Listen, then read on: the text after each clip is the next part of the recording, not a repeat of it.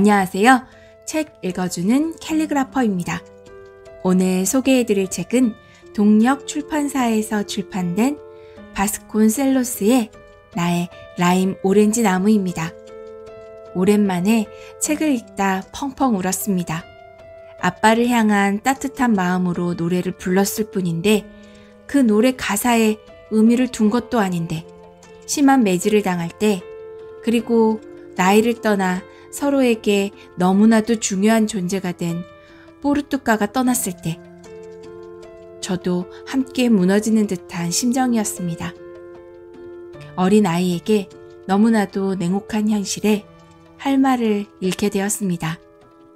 예전엔 개구장이에게 너무 심하게 대하는 가족이라는 생각이 들었는데 이번에 읽을 땐 가난이라는 어쩔 수 없는 상황 때문에 가족 모두가 힘들어하는 모습이 역력히 보여서 안타까웠습니다. 특히 제재가 엄마를 소개할 때 엄마는 태어나면서부터 일만 했다. 공장이 들어서던 6살 때부터 일만 했다. 사람들이 엄마를 작업대 위에 올려놓으면 엄마는 쇠붙이를 닫고 훔쳐야만 했다. 너무 어려서 혼자 내려올 수 없었기 때문에 그 위에서 소변을 보았다. 어떤 상황에서 엄마가 자라왔고 또 버티고 있는지 잘 알 수 있었습니다. 마지막 48살이 된 제재의 편지로 마무리가 될 때 잘 버텨주어서 그 나이까지 살아있어줘서 너무 고마워하면서 책을 덮었습니다. 편지에 나의 사랑하는 포르투가 제게 사랑을 가르쳐 주신 분은 바로 당신이었습니다. 지금은 제가 구슬과 그림 딱지를 나누어 주고 있습니다. 사랑 없는 삶이 무의미하다는 것을 알기 때문입니다.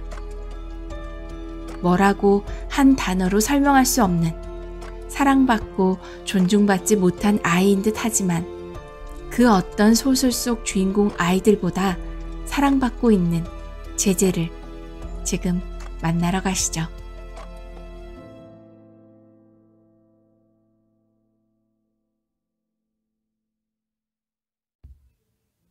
나의 라임 오렌지 나무 바스콘셀로스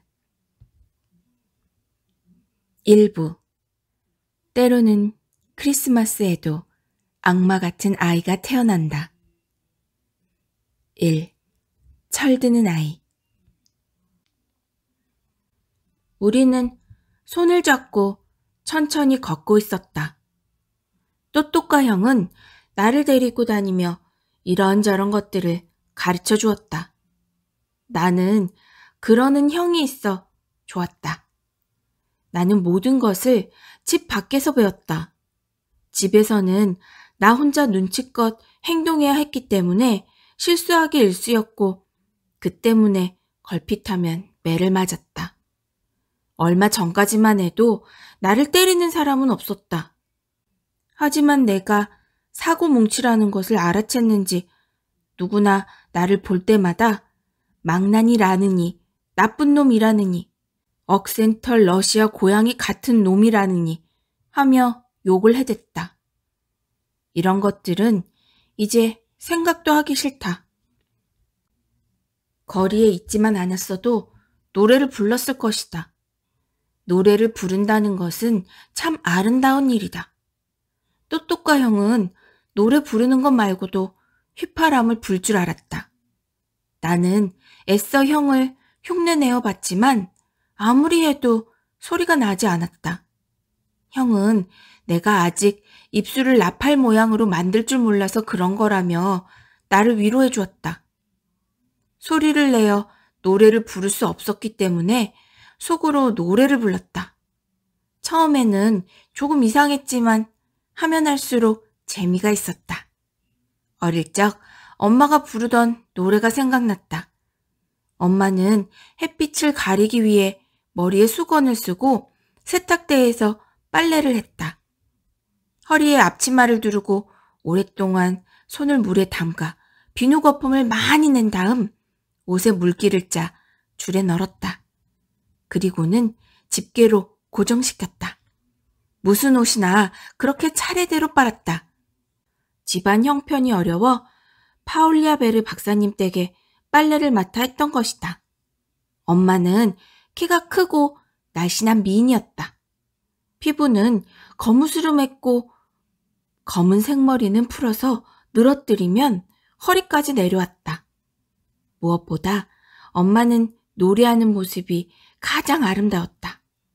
나는 엄마 곁에서 엄마가 부르던 이 노래를 배웠다. 사공이여, 사공이여, 야속한 뱃사공이여. 당신 때문에 나는 죽을 것만 같다오. 파도가 밀려와 백사장을 뒹굴다 밀려가면 내 사랑 뱃사공도 저 멀리 떠나간다네. 뱃사공의 사랑은 한 시간도 못 가고 배가 닻을 올리면 뱃사공도 떠나간다네. 파도가 밀려와. 지금도 이 노래를 들으면 나는 알 수 없는 슬픔에 잠긴다.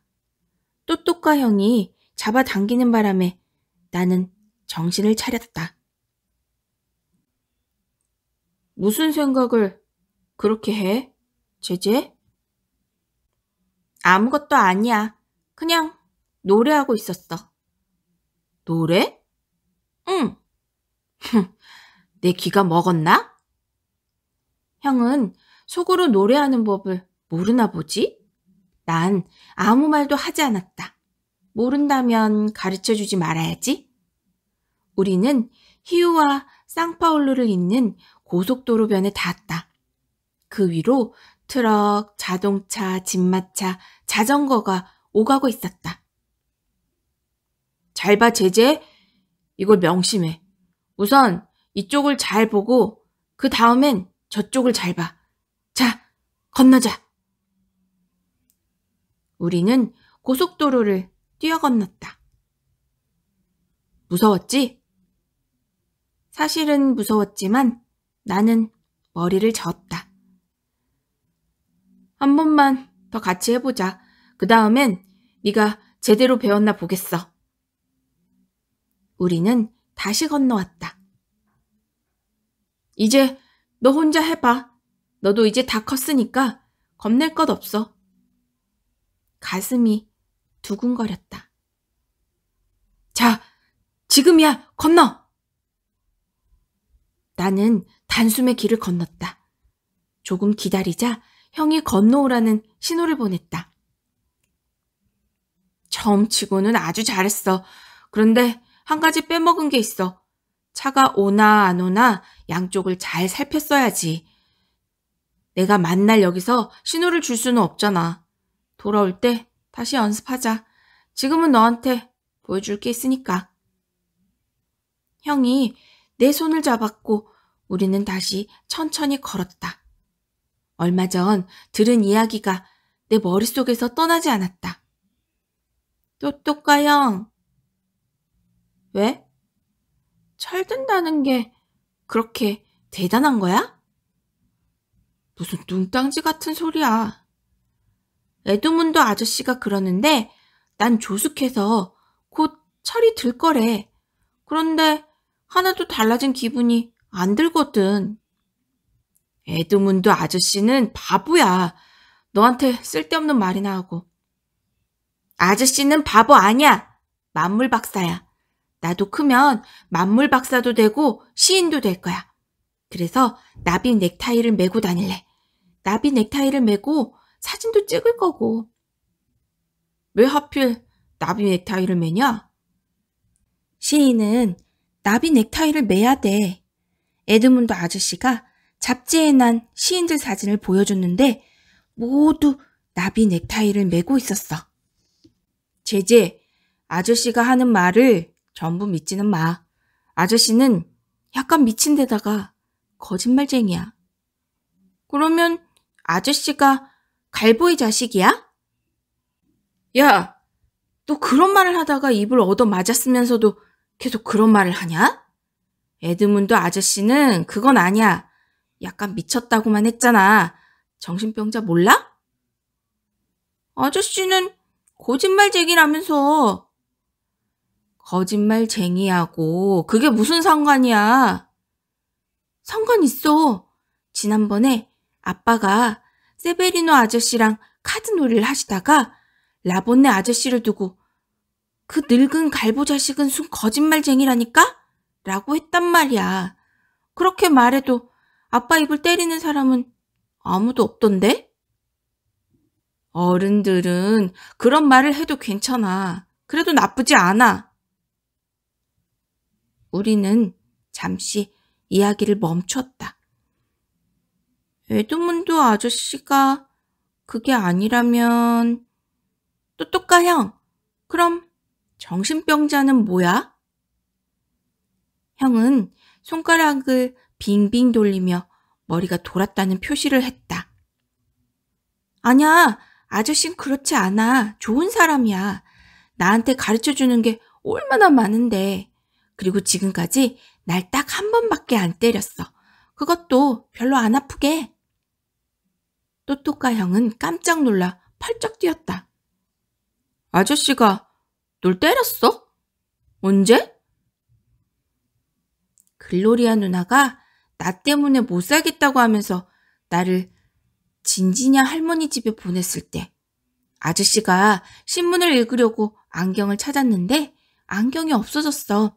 여기저기 막 뒤지다가 진지냐 할머니한테 물어봤는데 할머니도 못 봤다는 거야. 아저씨랑 할머니가 집안을 뒤집어 엎다시피 하며 찾았어. 그때 내가 구슬 사게 1도스땅만 주면 어디 있는지 알려준다고 했어. 그러니까 아저씨가 조끼 주머니에서 1도스 땅을 꺼내면서 돈을 줄 테니 찾아봐라 해서 빨래통에 가서 안경을 꺼내왔거든. 그랬더니 아저씨가 이 못된 놈 같으니라고 내 놈짓이었구나 라고 욕을 하면서 내 엉덩이를 한 대 때린 다음에 돈을 도로 뺏어갔어. 뚜뚜까 형이 깔깔거리며 말했다. 배를 피해 갔는데 거기서도 매를 맞았군. 좀 빨리 가자. 이러다간 영영 못 가겠다. 난 계속 에드문드 아저씨 생각을 했다. 또똑까 형, 어린 애들도 퇴직자야? 뭐라고? 에드문드 아저씨인 일도 안 하는데 돈을 받잖아. 일도 안 하는데 시청에서 매달 아저씨한테 돈을 줘. 그래서? 애들도 일 안 하고 밥만 먹고 잠만 자는데 엄마 아빠가 돈을 주잖아. 퇴직자는 달라 제재. 퇴직자는 에드문드 아저씨처럼 이미 일을 많이 해서 머리가 하얗게 새고 느릿느릿 걷는 어른을 말하는 거야. 제재, 골치 아픈 생각 좀 그만해라. 너는 아저씨한테 배우는 걸 좋아하니까 아저씨한테 물어봐. 나한테는 그런 거 묻지 말고. 그리고 너도 좀 다른 애들처럼 굴어. 욕을 하는 건 괜찮은데 그 조그만 머리로 그렇게 어려운 생각은 좀 그만해. 계속 그러면 너랑 안 놀 거야. 난 기분이 상해서 더 이상 이야기하고 싶지 않았다. 당연히 노래하고 싶은 마음도 싹 사라졌다. 내 속에서 노래하던 작은 새도 멀리 날아가 버렸다. 우리는 걸음을 멈췄다. 또똑까 형이 어느 집을 가리켰다. 저 집이야. 맘에 드니? 하얀 벽에 파란 창문이 달린 그저 평범한 집이었다. 문은 모두 잠겨 있어 조용했다. 응. 그런데 왜 이리로 이사하는 건데? 이리로 이사하는 게 더 좋으니까. 울타리 너머로 마주보고 서 있는 망고나무와 따마린두 나무가 보였다. 머리 좋은 너도 집안 형편이 어떻게 돌아가는지 눈치 못 챘나 보구나? 아빠가 일자리를 잃었다는 건 너도 알지? 아빠가 스코트필드 씨랑 싸워서 쫓겨난 지가 여섯 달이 넘었어. 랄라 누나가 공장에 나가고 있는 건 알아? 엄마가 시내에 있는 영국인 방직 공장에서 일하는 것은 모르지? 바보야? 모두들 이사 올 집에는 쇳돈을 모으려고 그러는 거야. 지금 집은 새가 여덟 달치나 밀려 있어. 넌 너무 어려서 이런 슬픈 일들은 잘 모를 거야. 나도 집안에 조금이나마 보탬이 되려고 성당에서 복사일을 하게 될 것 같아. 서로 한참 동안 아무 말이 없었다. 또또까 형, 까만 표범이랑 사자 두 마리도 이리 데려올 거지? 당연하지. 닭장 뜯어오는 일을 할 사람이 머슴 같은 나 말고 누가 있겠냐? 그리고는 안쓰러운 눈으로 나를 쳐다보았다. 내가 동물원을 뜯어다 여기에 다시 만들어 줄게. 나는 조금 마음이 놓였다. 그것이 없어지면 동생 루이스를 위해 새로운 놀거리를 마련해야 하기 때문이다. 그것 봐, 제제. 내가 얼마나 너한테 잘해주니? 그러니까 너도 이젠 어떻게 그것을 해냈는지 이야기해봐. 나도 몰라. 정말이야. 거짓말 하지 마. 누구한테 배웠지? 진짜 배운 적 없어. 아무도 가르쳐 주지 않았단 말이야. 만약에 가르쳐 준 사람이 있다면 아마 잔디라 누나 말대로 내가 자는 동안에 내 대부인 악마가 가르쳐 줬을 거야. 또또까 형은 믿지 못하는 것 같았다. 처음엔 자백을 받아내려고 내 머리에 알밤을 먹이기까지 했다. 그래도 난 알 수 없었다. 혼자서 그런 걸 배우는 사람은 없어. 그러나 식구들 중에도 누군가가 나를 가르치는 것을 본 사람이 아무도 없었기 때문에 모두들 아무 말 하지 못했다. 그건 정말 수수께끼 같은 일이었다. 일주일 전쯤이었다. 온 집안 식구들이 깜짝 놀란 일이 있었다. 그 일은 진지냐 할머니 집에서 시작되었다. 나는 신문을 읽고 있는 에드문드 아저씨 옆에 앉아 있었다. 아저씨! 무슨 일이냐? 아저씨는 노인들이 그러는 것처럼 안경을 코끝에 걸쳐놓고서 나를 바라보았다. 아저씨는 읽는 걸 언제 배웠어요? 아마 여섯 살이나 일곱 살쯤이었을 게다. 다섯 살짜리도 배울 수 있나요? 하려면 왜 못하겠냐마는 아무도 그러고 싶어 하지 않지. 너무 어리니까 말이다.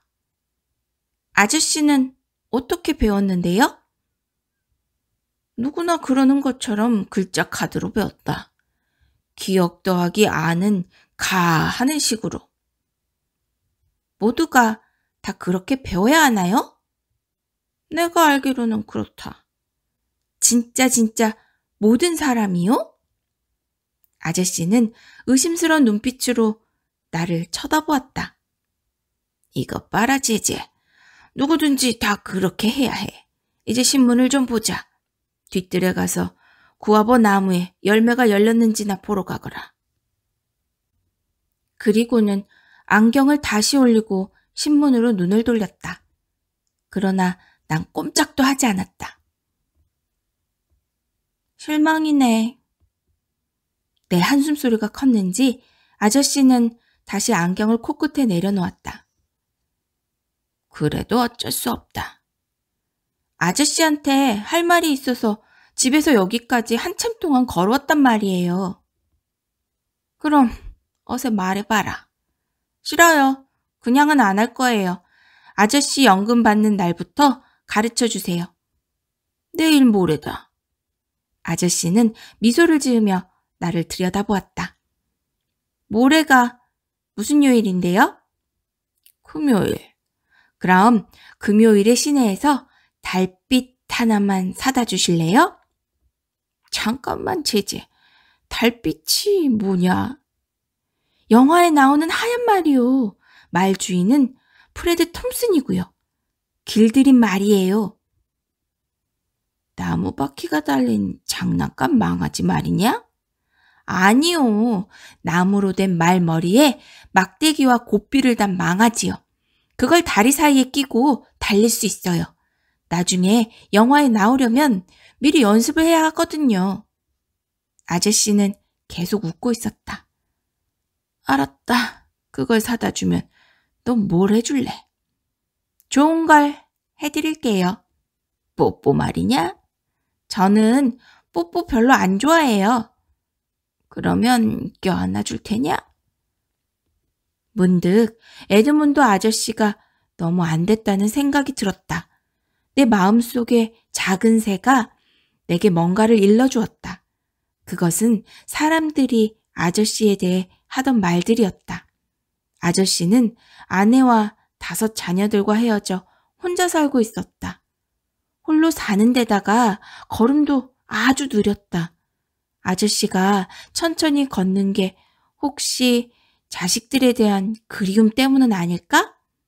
아저씨의 자녀들은 아저씨를 만나러 온 적이 한 번도 없었다. 나는 탁자를 돌아가 아저씨의 목을 꼭 껴안았다. 아저씨의 희고 부드러운 머리카락이 내 이마를 스쳤다. 망아지를 사준다고 하셔서 이러는 건 아니에요. 다른 걸 해볼게요. 읽는 것 말이에요. 제제, 내가 글을 읽을 줄 안다고? 그게 무슨 소리냐? 누가 가르쳐 주었니? 아무도 가르쳐 준 적 없어요. 거짓말 하지 마라. 나는 아저씨 품을 벗어나 문 앞에 서서 말했다. 제가 글 읽는 것을 보시려면 금요일에 망아지를 사갖고 오세요. 며칠 후 저녁 때였다. 잔디라 누나가 호롱불을 밝혔다. 전기세를 내지 못해 전기회사인 라이트에서 전기를 끊었기 때문이다. 나는 종이에 그려진 별을 보려고 까치발을 했다. 별 그림 아래에는 집안을 돌봐달라고 비는 기도문이 붙어 있었다. 누나, 저것 좀 읽게. 나 좀 올려줘. 장난치지 마, 제제. 누나 지금 바쁘거든? 그러니까 날 좀 올려줘봐. 내가 읽는지 못 읽는지 보면 되잖아. 좋아, 제제. 너 장난이면 혼날 줄 알아? 누나는 나를 안아 문 뒤로 바짝 붙여주었다. 빨리 읽어봐. 어디 한번 보자. 나는 가정의 안녕과 축복을 기원하고 악령을 쫓아달라고 하늘에 비는 기도문을 읽었다. 잔디라 누나는 나를 바닥에 내려놓았다. 누나는 벌어진 입을 다물지 못했다. 제제, 너 그거 외운 거지? 지금 나 놀리는 거지? 누나, 난 뭐든지 읽을 수 있어. 배우지 않고 읽는 사람은 없어. 에드문드 아저씨가 가르쳐 주셨니? 아니면 진진의 할머니시니? 아무도 가르쳐 주지 않았어. 누나가 신문을 가져왔고 나는 그것마저 읽었다. 단 한자도 틀리지 않고서 말이다. 그러자 누나는 괴성을 지르며 글로리아 누나를 불렀다. 글로리아 누나는 흥분해서 알라이데를 부르러 갔다. 그 바람에 눈 깜짝할 사이에 이웃 사람들이 구경하러 몰려들었다. 또또까 형이 지금 알고 싶어 하는 것도 바로 이것이었다. 아저씨가 그를 가르쳐 주면서 내가 제대로 배우면 망아지를 사주겠다고 하셨지? 아니야, 아니라니까? 아저씨한테 물어본다? 물어봐. 나도 정말 어떻게 배웠는지 모르겠어, 형. 알면 정말 형한테 얘기했을 거야. 됐어. 이제 가자. 너 두고 봐. 나한테 뭘 해달라고 하기만 해봐라. 형은 화가 났는지 내 손을 확 잡아당겼다. 그리고 고소하다는 듯 이렇게 말했다. 잘 됐다, 이 바보. 그렇게 빨리 글을 배웠으니까 2월부터는 아마 학교에 가야 될걸? 이것은 잔디라 누나의 생각이었다. 그렇게 되면 오전이나마 집안이 잠잠해질 것이고 나도 조금 얌전해지지 않을까 하는 바람에서 나온 생각이었다.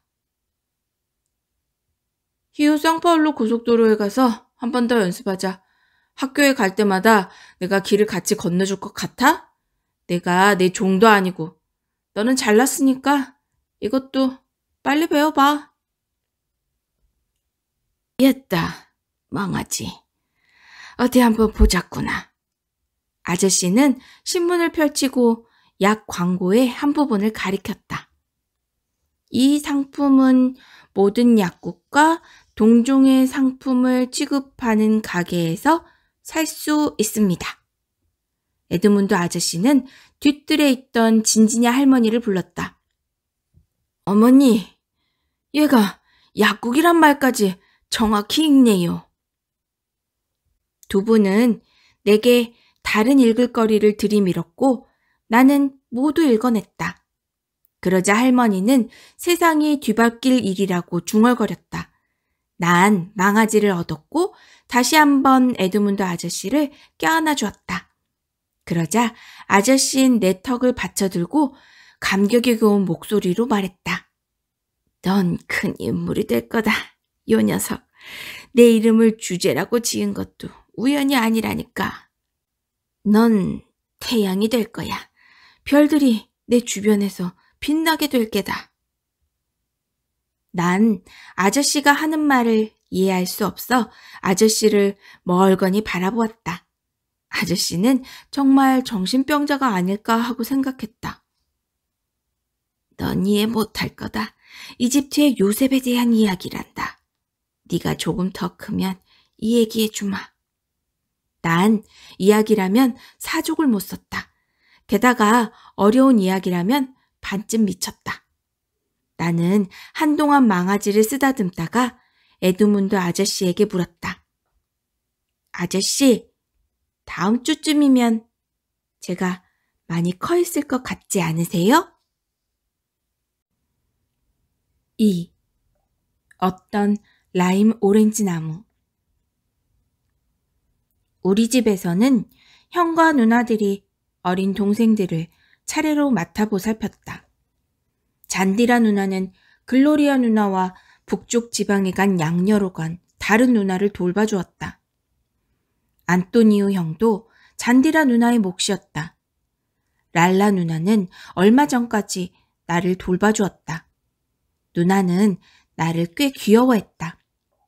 하지만 이제는 영화배우처럼 나팔바지에 짧은 윗도리를 빼입은 남자친구에게 푹 빠져 내게 시큰둥해졌다. 우리가 일요일에 역으로 푸딩, 누나의 남자친구는 늘 산책을 이렇게 말했다.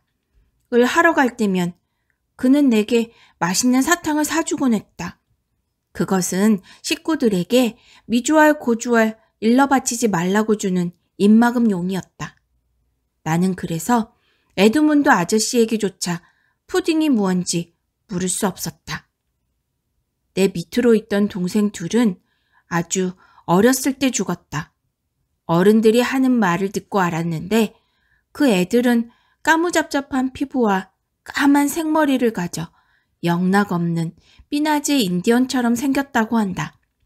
그래서 여자아이에게는 아라씨, 남자아이에게는 주란디르라는 이름을 붙였다고 한다. 그 다음에 태어난 아이가 막내 루이스였다. 루이스를 주로 돌봐주는 사람은 글로리아 누나였고 그 다음이 나였다. 사실 루이스는 아무도 돌볼 필요가 없었다. 너무 예쁘고 착하고 조용해서 있는지 없는지조차 모를 정도였기 때문이다. 그래서 루이스를 떼어놓고 밖에 나가 놀고 싶다가도 그 아이가 또박또박 앙증맞게 말을 걸어오면 어찌나 귀여운지 마음을 고쳐먹을 수밖에 없었다. 제재형, 동물원 놀이 하자. 응? 오늘은 비가 올 것 같지 않은데? 그치? 귀엽기도 해라. 말을 어쩜 이렇게 똑 떨어지게 하는지. 이 다음에 훌륭한 사람이 될 거야. 나는 맑게 갠 푸른 하늘을 쳐다보았다. 그러자 거짓말할 용기가 나지 않았다. 나는 가끔 동물원 놀이가 하기 싫을 때면 이렇게 말하고는 했다. 미쳤니, 루이스? 저기 폭풍우가 몰려오는 것 좀 봐. 하지만 오늘은 동생의 조막손을 잡고 뒤뜰로 모험을 나서기로 했다. 뒤뜰에서는 세 가지 놀이를 할 수 있었다. 동물원, 그리고 줄리뉴 아저씨네에 잘 단장된 울타리 가까이에 있는 유럽. 그런데 왜 유럽일까? 글쎄, 그것은 내 마음속에 작은 새도 몰랐다. 유럽에서는 빵지 아슈가르 바위산에 케이블카 놀이를 했다. 단추 상자를 가져다 단추에 끈을 꿰면 케이블카 놀이를 할 수 있었다. 에드문드 아저씨는 끈을 줄이라고 말했다. 나는 줄을 죽과 혼동했다. 아저씨는 발음이 서로 비슷하지만 죽은 음식이라고 설명해 주었다. 아무튼 끈의 한쪽 끝은 울타리에 그리고 다른 한쪽은 루이스의 손끝에 메고 단추들을 하나씩 천천히 내려보낸다. 케이블카마다 우리가 알고 있는 사람들이 가득 타고 있다. 그 중에서 까만 단추는 내 흑인 친구 비리끼뉴의 케이블카였다. 우리가 케이블카 놀이를 하고 있을 때면 울타리 너머에서 이런 말이 들려왔다. 제제, 너 우리 집 울타리를 망가뜨리고 있는 건 아니지? 아니에요. 디멜린다 아줌마, 와서 보세요. 암, 그래야지. 동생하고 얌전히 놀아라. 그게 더 좋지 않니? 그것이 더 좋을 수도 있지만 내 대부인 악마가 나를 부추길 때는 장난을 치는 것보다 더 좋은 일은 없었다. 아줌마, 작년처럼 크리스마스에 달력 하나 선물해 주실래요? 작년에 준 것은 어떻게 했니? 우리 집에 와서 보세요. 빵 바구니 위에 걸어놨어요. 아줌마는 웃으면서 그러겠다고 약속했다. 그녀의 남편은 쉽고 뿌랑꾸 상점의 점원이었다. 우리는 루시아노를 데리고 놀 때도 있었다. 처음에 루이스는 루시아노가 너무 무서워 내 바지가랑이를 잡아 끌며 돌아가자고 떼를 썼다. 하지만 루시아노는 내 친구였다. 내가 다가가면 떠들썩하게 울어댄다. 글로리아 누나도 루시아노를 좋아하지 않았다. 박쥐는 흡혈귀라서 아이들의 피를 빨아먹는다고 말했다. 아니야, 누나. 루시아누는 안 그래. 걘 내 친구야. 날 알아본단 말이야. 누가 너를 말리겠니? 벌레를 좋아하지 않나? 물건들하고 얘기를 하지 않나? 루시아누가 벌레가 아니라는 것을 설명하는 것은 여간 힘든 일이 아니었다. 루시아누는 알폰소스 들판 상공을 날아다니는 비행기였다. 저것 좀 봐, 루이스. 그러자 루시아누는 우리의 말을 알아듣기라도 한 것처럼 우리 주위를 신나게 맴돌았다. 루시아누가 내 말을 알아들은 것이 틀림없었다. 루시아누는 비행기야. 루시아누는 지금? 나는 기억을 더듬었다. 아무래도 아저씨한테 다시 가르쳐 달라고 해야 할 것 같았다. 고개 비행인지 고개 비행인지 공의 비행인지 기억이 가물가물했다. 그 중에 하나인 것만은 확실했지만 동생한테 잘못 가르쳐 줄 수는 없었다. 다행히도 루이스는 지금 동물원 놀이를 하고 싶어 했다.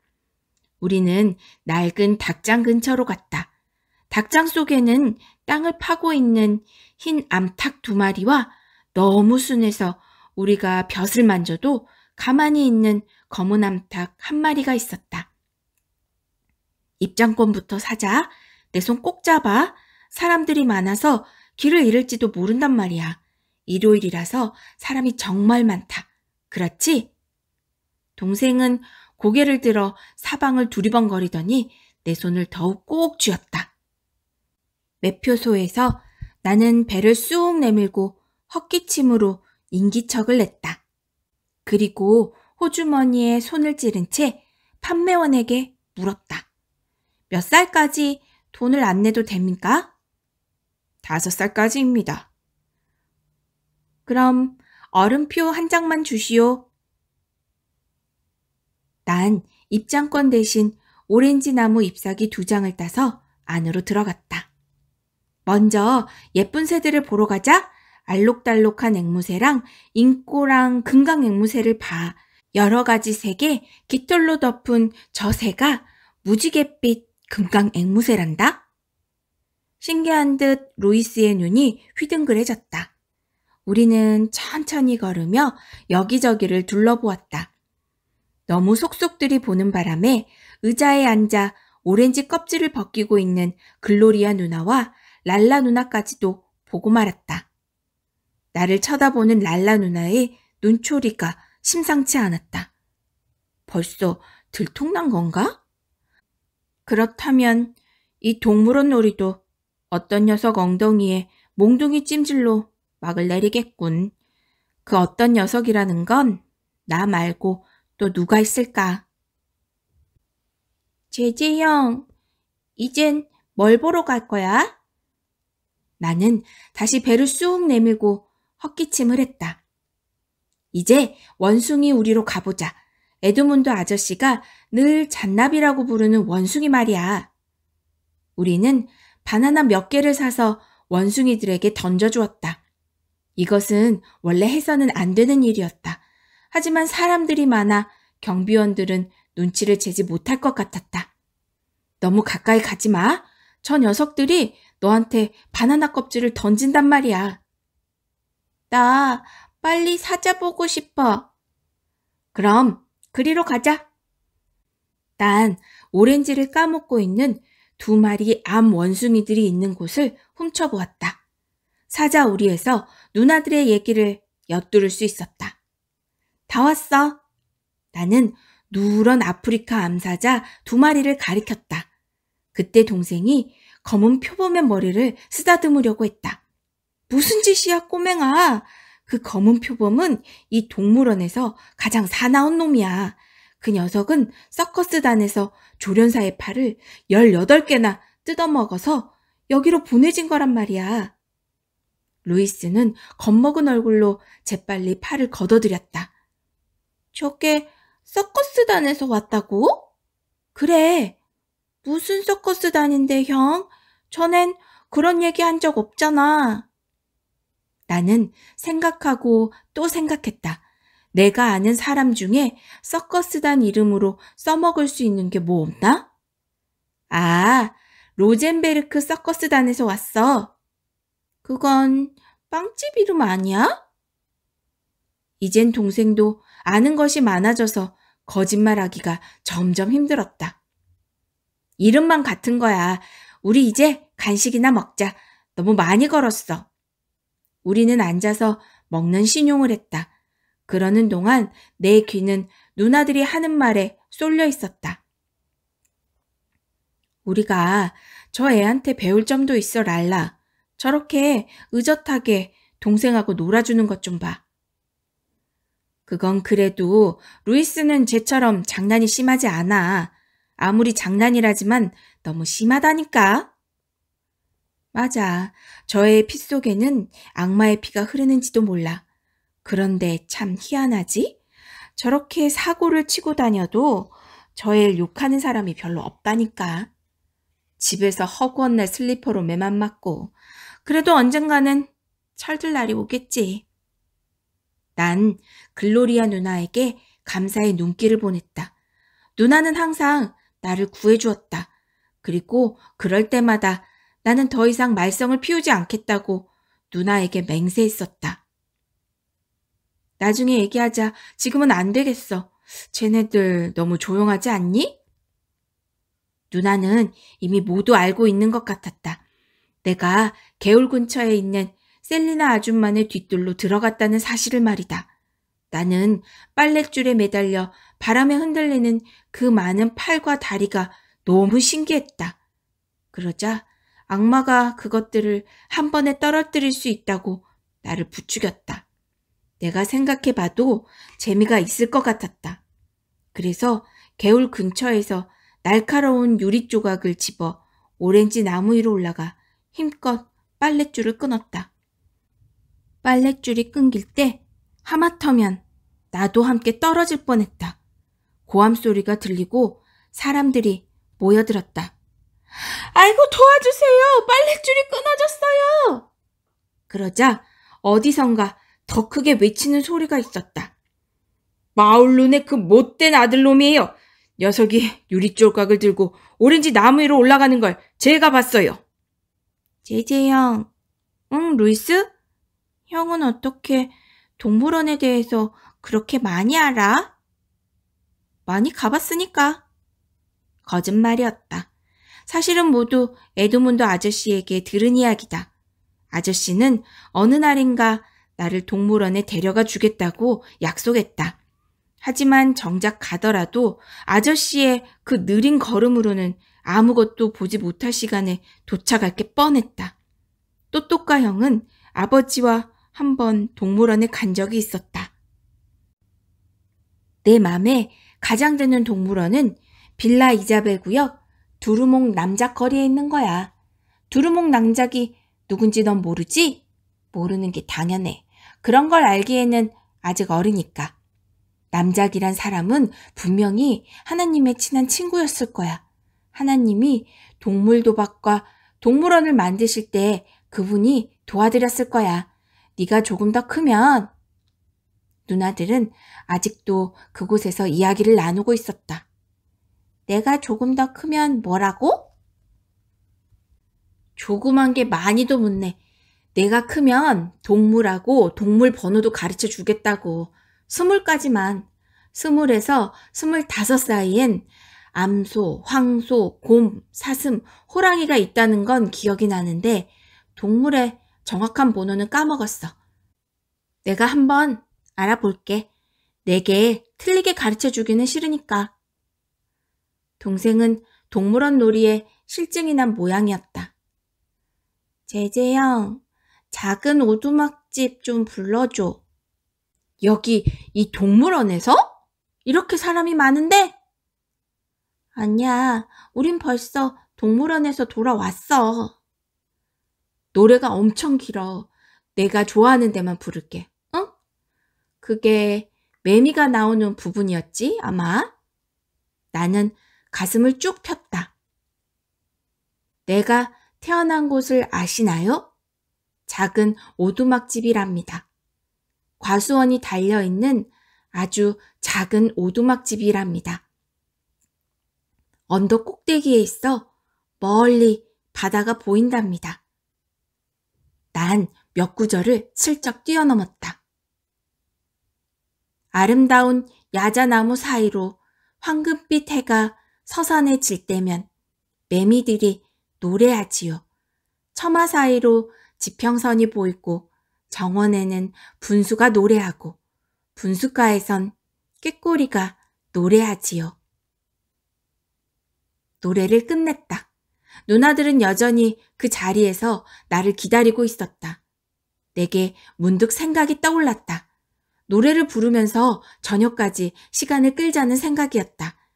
그러면 혹시 누나들이 포기할지도 몰랐다. 그러나 포기하는 일은 일어나지 않았다. 난 작은 오두막집을 끝까지 다 부르고 나서 그 노래를 한 번 더 불렀다. 그리고 너의 스쳐간 사랑도 부르고 라모나까지 불렀다. 라모나는 가사가 다른 두 가지를 모두 불렀다. 그래도 변화의 조짐은 전혀 없었다. 그러자 눈앞이 깜깜해졌다. 어차피 맞을 매라면 차라리 빨리 맞는 게 나을 것 같았다. 그래서 누나들이 있는 곳으로 갔다. 자, 랄라 누나, 때릴 테면 때려. 매를 맞으려고 누나 쪽으로 등을 돌렸다. 그리고 누나가 슬리퍼를 내리칠 때의 힘이 얼마나 센지 알고 있었기에 이를 꽉 물었다. 의견을 낸 사람은 엄마였다. 오늘은 모두 새 집을 보러 가자. 또똑가 형은 한쪽으로 나를 불러대더니 낮은 목소리로 엄풀을 놓았다. 우리가 벌써 새 집에 갔다 왔다고 보면 죽을 줄 알아? 그러나 난 꿈에도 그런 생각을 해본 적이 없었다. 우리 집 식구 한 떼거리가 거리로 나섰다. 글로리아 누나는 내 손을 잡으며 단 1분도 놓지 말라고 엄명했다. 나는 남은 손으로 루이스의 손을 잡았다. 엄마, 이사는 언제 가나요? 엄마는 슬픈 목소리로 글로리아 누나에게 말했다. 크리스마스를 지내고 그 다음 다음 날부터는 이삿짐을 싸기 시작해야 할 거다. 엄마는 피로에 지친 목소리로 말씀하셨다. 엄마가 몹시 불쌍해 보였다. 엄마는 태어나면서부터 일만 했다. 공장이 들어서던 여섯 살 때부터 일을 했다. 사람들이 엄마를 작업대 위에 올려놓으면 엄마는 쇠붙이를 닦고 훔쳐야만 했다. 너무 어려서 혼자 내려올 수도 없었기 때문에 그 위에서 소변을 보았다. 학교에 다녀본 적도 없고 읽는 법을 배운 적도 없었다. 이 이야기를 들었을 때 난 너무 마음이 아파서 내가 커서 시인이 되고 만물 박사가 되면 꼭 내 시를 읽어드리겠다고 맹세했다. 상점의 진열대는 크리스마스 분위기를 한층 돋우고 있었다. 진열장 문마다 산타클로스가 그려져 있는 것 같았다. 게다가 상점들에는 혼잡한 크리스마스 당일을 피해 미리 카드를 사러 나온 사람들로 붐볐다. 난 이번 크리스마스에 하나님의 착한 아기 예수가 내 안에 태어났으면 하고 은근한 기대를 품고 있었다. 꼭 착한 예수가 내게 태어나기를. 아무튼 나도 철이 들면 좀 나아질 것 같기도 했다. 여기란다. 지금 사는 집보다 약간 작았지만 모두들 마음에 들어했다. 엄마가 또똑과 형의 도움을 받아 대문에 철사줄을 풀고 문을 열자 형제들이 후다닥 안으로 뛰어들어갔다. 글로리아 누나는 다 큰 처녀라는 사실도 있고 내 손을 떨쳐내고 몸을 흔들며 달려들어갔다. 그리고 망고나무를 껴안았다. 이 망고나무는 내 거야. 내가 먼저 발견했으니까. 안토니우 형도 타말 있는 나무를 껴안고 누나와 똑같이 말했다. 나를 위해 남은 것은 하나도 없었다. 난 울상을 지으며 글로리아 누나를 쳐다보았다. 그럼 나는 누나? 바보야. 빨리 뒤쪽으로 가봐. 나무가 더 있을 거야. 달려가 보았지만 거기엔 수북히 자란 풀과 가시가 많은 늙은 오렌지 나무 몇 그루, 그리고 개울 곁에 있는 조그마한 라임 오렌지 한 그루 뿐이었다. 난 속이 상했다. 모두들 침실을 둘러보며 방을 정하고 있었다. 난 글로리아 누나의 치마를 잡아당겼다. 아무것도 없어. 네가 제대로 찾아보지 않아서 그래. 내가 찾아줄 테니까 잠깐 기다려. 잠시 후 누나가 내 쪽으로 와서 우리는 오렌지 나무들을 살펴보았다. 넌 저 나무는 별로야? 아주 멋진 오렌지 나무 아니니? 전혀 마음에 들지 않았다. 이것도 저것도 모두 시들하여 어느 것 하나 마음에 들지 않았다. 전부 가시만 잔뜩 나 있었다. 저렇게 못생긴 것들을 갖느니 차라리 저 라임 오렌지가 낫겠어. 어디 있는데? 우리는 라임 오렌지 나무 쪽으로 갔다. 어머나, 참 예쁜 라임 오렌지 나무네. 가시도 하나 없어. 멀리서 봐도 라임 오렌지 나무란 걸 금방 알겠다.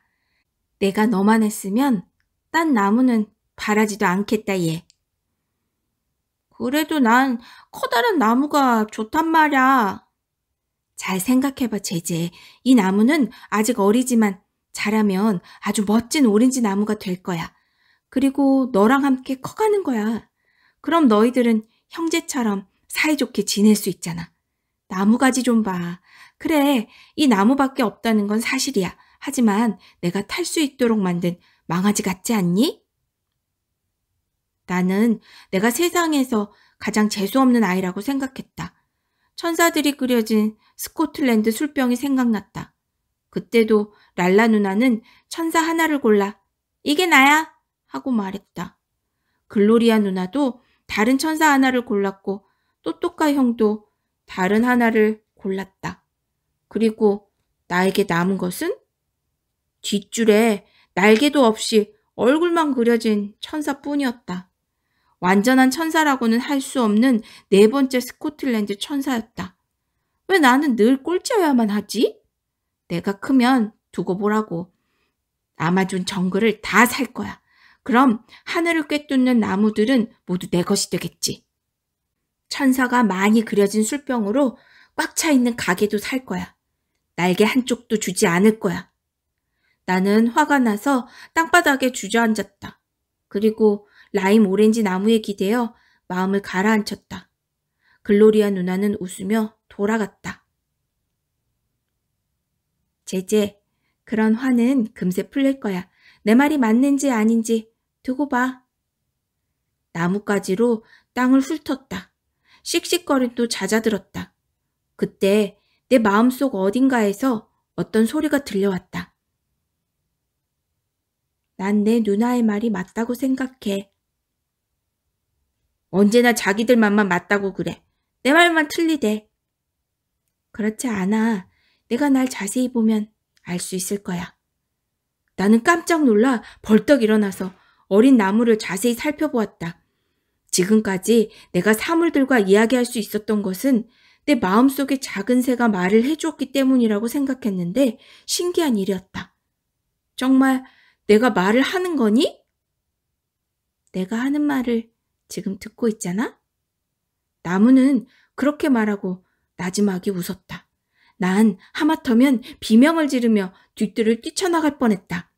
그러나 호기심이 나를 묶어놓았다. 어디로 말하는 거니? 나무는 몸 전체로 얘기해. 잎으로도 얘기하고 가지랑 뿌리로도 얘기해. 들어볼래? 그럼 귀를 내 몸에 대어봐. 내 심장이 뛰는 소리가 들릴 거야. 난 조금 망설였지만 나무의 크기를 생각하니 두려움이 사라졌다.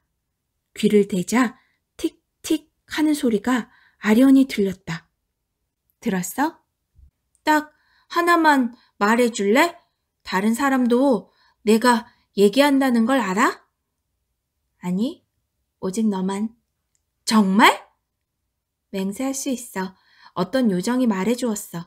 너처럼 작은 꼬마와 친구가 되면 말도 하게 되고 아주 행복해질 거라고 말이야. 그럼 기다려 줄 수 있겠어? 뭘? 내가 이사 올 때까지 말야. 아직 일주일도 더 남았어. 그때 가면 내가 말하는 걸 잊어버리지 않을까? 절대로 잊지 않아. 다시 말하지만 너만을 위해서야. 내가 얼마나 부드러운지 시험해 볼래? 어떻게?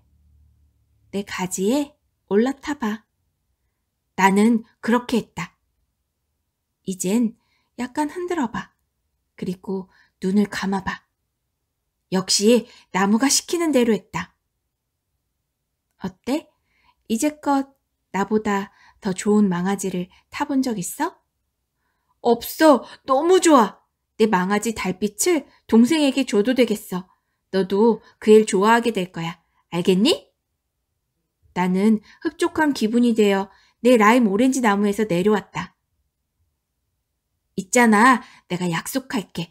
이사 오기 전이라도 될 수 있는 대로 자주 와서 너랑 놀게. 이젠 가봐야 해. 다들 벌써 저기 나가고 있거든. 하지만 친구, 친구끼리 이런 식으로 헤어지지는 않아. 쉿, 저기 누나가 오고 있어. 내가 나무를 껴안고 있는 바로 그때 글로리아 누나가 다가왔다. 잘 있어, 친구. 넌 세상에서 가장 멋진 나무야. 내가 뭐라 그랬니? 그래, 맞아. 이제는 누나나 형이 망고나무랑 따마린누 나무랑 바꾸자고 빌어도 안 바꿀 거야. 누나는 다정스레 내 머리를 쓰다듬었다. 아이고, 이 귀여운 녀석. 우리는 손을 잡고 걸어 나왔다. 누나, 누나는 누나 망고나무가 얼간이라고 생각하지 않아? 아직은 잘 모르겠어. 약간 그런 것 같기도 해. 또또가형 나무는? 그래, 그건 별로 쓸모없어. 그런데 왜? 얘기해도 좋을지 모르겠어. 하지만 누나한테만은 언젠가 이 기적 같은 일을 얘기해 줄게. 고도이야?